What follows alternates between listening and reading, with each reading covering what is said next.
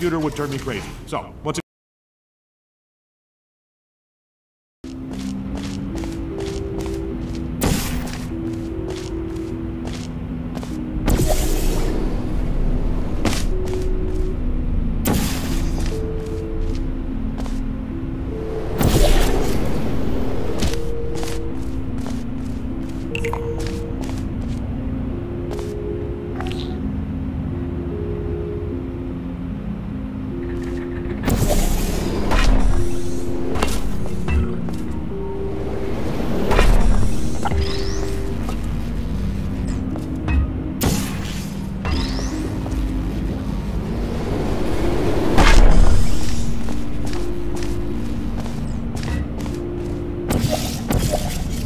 What?